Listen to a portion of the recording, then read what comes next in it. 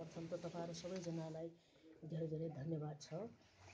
आज सम्माननीय प्रधानमन्त्रीज्यूले प्रतिपक्षी दलको नेता र सभामुख गरेर एउटा मिटिङ चाहिँ उहाँले बोलाउनु भएको थियो। जो मिटिङ मेरै कार्यकक्षमा बस्यो। र आजैको कार्यसूचीलाई कसरी हामी अगाडि बढाउँछौँ भन्ने विषयमा हाम्रो कुराकानी भयो।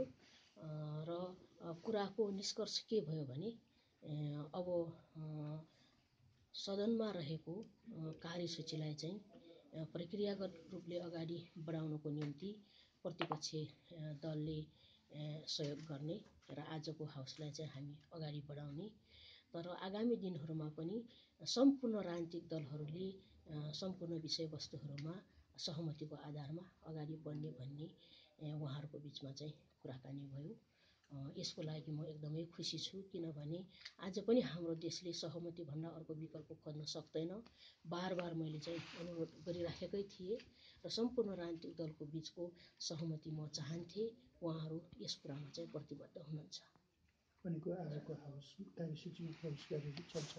हजुर आजको हाउसको प्रक्रिया अगाडि संविधान संशोधन सहित संशोधन प्रक्रिया। अगाडि बढाउने सहमति भएको नि त तपाईँहरूले हिजो पनि देखिसा सक्नु भएको छ कार्यसूची। आजको कार्यसूचीको पनि कार्यसूची पनि ती विषयहरू हुन्छन्।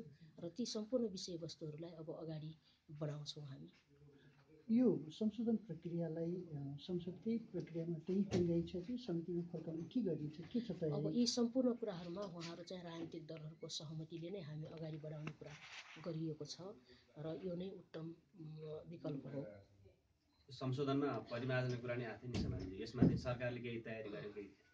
होइन यो त हामी आफ्नो प्रक्रियामा जान्छौँ बहत्तर घन्टाभित्र चाहिँ कुन मान्यज्यूलाई के विषयमा चाहिँ संशोधन हाल्न अब इच्छा छ उहाँहरूले आफ्ना संशोधनहरू त हाल्नु नै हुन्छ यो प्रक्रियामै हुन्छ। हजुर ल धन्यवाद। छ